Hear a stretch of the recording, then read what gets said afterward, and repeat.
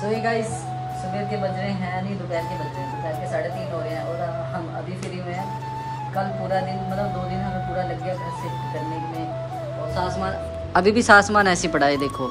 यहाँ पड़ा है ये पड़ा है वो पड़ा है। पखे लगाए हैं वो लगाए हैं।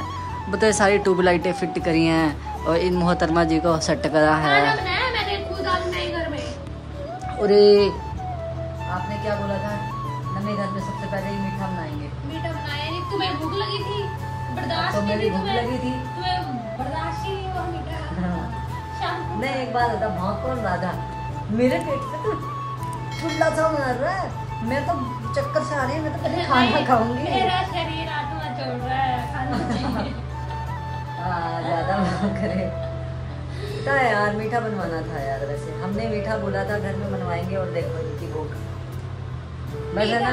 हमने पसंद नहीं है मीठा बना के क्या करती है? मीठा कुछ भी बनाते हैं भगवान को चढ़ाती है है? भगवान को सो गाइस आज हमारे लिए सुर्गेश जी बना रही है। घास। का साग। जहाँ मतलब ये वैसे है ना जहाँ गंदगी होती है उस जगह कोने में उग जाती हैं। तो देख लो हमको क्या क्या खिला रही है अपनी राज में। ऐसा कुछ ये बाज़ार से लेके आई रात बुधवार की मंडी थी यहाँ पे ठीक है? ज़्यादा बनो मत अब। इसे चलाई का साग कहते हैं। चुराई का साग होता है और ये तीस रुपए की दो गुच्छे आई हैं देख लो कितनी महँगी वाली आई है। हो देख लो। वैसे ना मैंने आज तक वो देखा है कोने में कहीं फड़ा जाता है रोड के कोने में होता कहीं लगा लगा हुआ। हाँ ठीक है? और वो लोग क्या करते हैं कि कोने कोने से तोड़ के साग को फिर आराम से गुच्छा बना के मंडी में बेच देते हैं। पर जो खरीद रहा होता है उसके मन में होता है खेसा है पर उसको क्या पता है टट्टियों से झाड़ियों से कई मैं कोनों से। खाओगे। तो अब हम है ना आपको थोड़ी देर बाद इसका साग बना के दिखाएँगे ठीक है? और दोस्तों ये हमारा आज पहला ब्लॉग है इस घर का। काफ़ी टाइम हमने वैसे ना जब हम घर पे थे ना तो हम हमेशा यही सोचते थे कि हम घर में जाते थे ना, अपने वाले घर में। हमारा मतलब मन सा लग जाता था और हम वहाँ के माहौल में घुल मिल जाते थे। कभी ये करना, कभी वो करना, पर आज हमने काफ़ी ज़्यादा इन्जॉय किया। आज हम आया तो बस हम अपने आप को टाइम दे रहे हैं घर में। और कल से यहाँ पापा भी आने वाले हैं।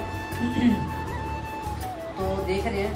क्या होगा? क्योंकि अभी तो हमें ऐसा लग रहा है बहुत अच्छा सा लग रहा है यहाँ पे और मुझे सच बताऊँ घर की बहुत ज़्यादा याद आ रही है। और सबसे ज़्यादा याद मुझे अपनी बिल्ली की आ रही है। वो ऐसे बोलते हैं।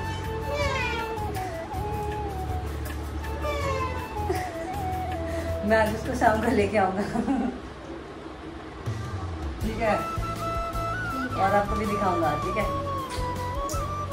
इसको कैटी बहुत पसंद है। हाँ, पसंद है उसका नाम मीनाक्षी रखा है। उसको बहुत पसंद है। और इसने सबसे पहले शादी आई थी ना तो इसने सबसे पहले बिल्ली की आवाज़ें निकाली थी उसके तीन महीने बाद हमारे घर में बिल्ली आ गई थी। देख लो।